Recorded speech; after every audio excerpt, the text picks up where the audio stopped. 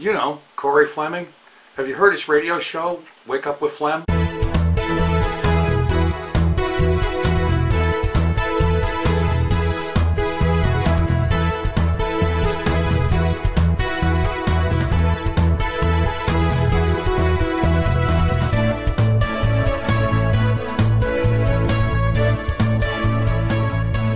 Hey YouTube, how's it going? Well, I'll tell you what, I know the first thing somebody's going to say is, you know, I thought you were going to do this in the morning. And you know something, you're right.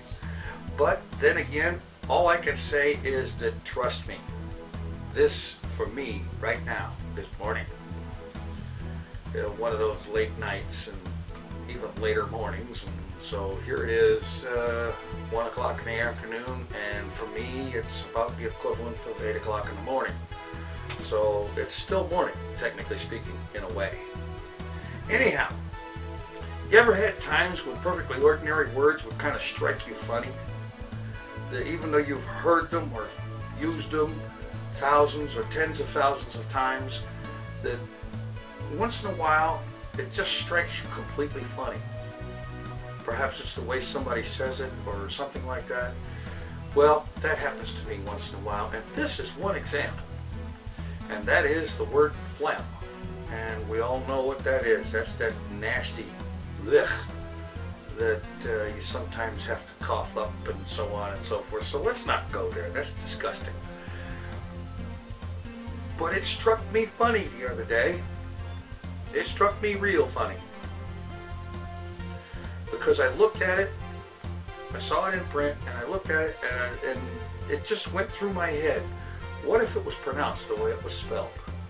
Because if it was pronounced the way it was spelled, it would be phlegm, which is a completely different kind of thing.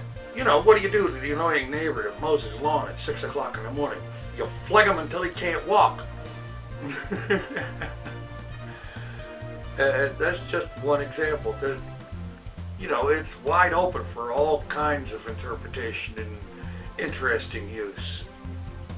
And that's just one example of the kind of strange things that occur to me every now and then. And I'm going to leave you with that thought. Flag 'em. I guarantee you one thing. You will never forget that alternate pronunciation. Take it easy. Come out of here.